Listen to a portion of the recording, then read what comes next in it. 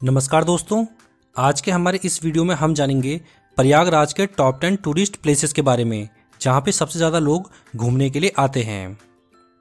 ये शहर हिंदू धर्म के लोगों के लिए एक बहुत ही महत्वपूर्ण है, क्योंकि यहाँ पर गंगा, यमुना, सरस्वती नदियों का संगम होता है और प्रसिद्ध कुंभ मेला भी यहाँ पर लगता है। क्योंकि ये शहर महाभारत काल से ही अस्तित्व में है, इसलिए इसका काफ़ी महत्व है। तो चलिए जानते हैं यहाँ के टॉप टेन टूरिस्ट प्लेसेस के बारे में। इसमें पहले नंबर पर आता है त्रिवेणी संगम। त्रिवेणी संगम प्रयागराज का एक पवित्र स्थान है। यहाँ गंगा, यमुना और सरस्वती नदियों का संगम होता है। वैसे सरस्वती नदी यहाँ पर अदृश्य रूप में बहती है। ऐसा माना जाता है। ये तीनों नदियाँ पौराणिक काल की बहुत ही पूजनीय नदियाँ हैं। इसलिए इस जगह का काफ़ी महत्व है। यहाँ पर हर बारह सालों में प्रसिद्ध कुंभ मेला भी लगता है। माना जाता है कि यहाँ पर स्नान करने से सभी पापों से मुक्ति मिलती है। इसके बाद अगला स्थान है आनंद भवन। आनंद भवन नेहरू परिवार का निवास स्थान था, जो कि अब एक म्यूज़ियम है। यहाँ पर स्वतंत्रता आंदोलन से जुड़े कलाकृतियाँ और लेखों का प्रदर्शन किया जाता है। ये एक काफ़ी खूबसूरत भवन है, जिसे 1970 में राष्ट्रीय संग्रहालय में बदलने के लिए इंदिरा गांधी ने भारत सरकार को दान कर दिया था। इसके अलावा आप यहाँ प्रयागराज में आ सकते हैं कुंभ मेले में। दुनिया का सबसे बड़ा कुंभ मेला भी प्रयागराज में हर बारह साल के बाद आयोजित होता है। कुंभ मेला पूरे भारत में केवल चार ही जगहों पर आयोजित होता है, हरिद्वार, प्रयागराज, नासिक और उज्जैन में। इस दौरान यहाँ पे करोड़ों संख्या में श्रद्धालु आते हैं। इसके अलावा हर छः साल में यहाँ पे अर्ध कुंभ भी आयोजित होता है। और कुंभ मेले में स्नान करने का अर्थ होता है पापों से मुक्ति। इसके बाद अगले स्थान पर आता है खुसरो बाग। खुसरो बाग प्रयागराज के सबसे खूबसूरत और फ़ेमस टूरिस्ट प्लेसेस में से एक है। इस बाग को जहांगीर ने अपने बेटे खुसरो के लिए बनाया था। यहाँ पर खुसरो की समाधि और साथ में उसकी माँ की भी समाधि यहाँ पर बनी हुई है। ये एक काफ़ी खूबसूरत बाग है। काफ़ी लोग यहाँ पर घूमने के लिए आते हैं। इसके बाद अगले स्थान पर आता है तारामंडल।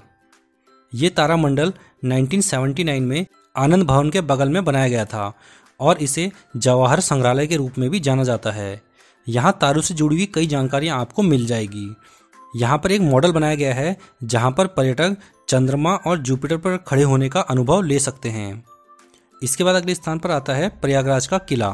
प्रयागराज का किला पंद्रह में मुगल सम्राट अकबर के शासनकाल के दौरान बनाया गया था। लोग यहाँ इस विशाल किले की भव्यता और वास्तुकला को देखने के लिए आते हैं।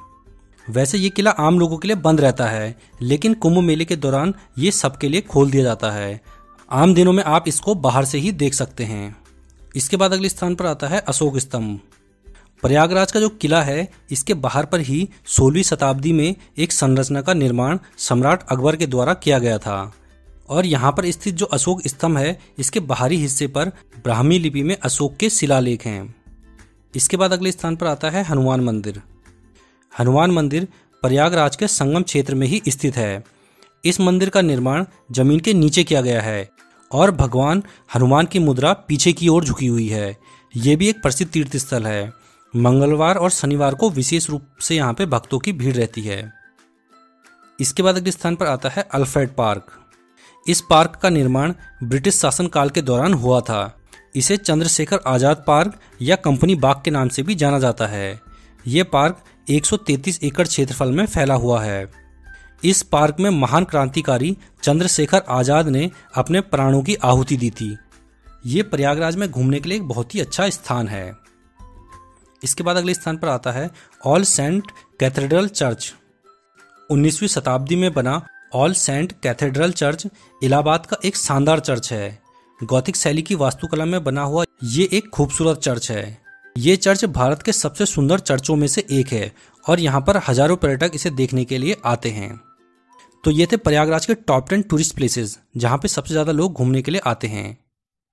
तो हमारा आज का ये वीडियो आपको कैसा लगा, आप हमें ज़रूर बताएँ। हमारा ये वीडियो आपको पसंद आया हो तो हमारे इस वीडियो को लाइक कीजिए और हमारे इस वीडियो को अधिक से अधिक शेयर भी कीजिए। अगर आप हमारे चैनल पर पहली बार आए हैं तो हमारे इस चैनल को सब्सक्राइब करना बिल्कुल भी ना भूलें।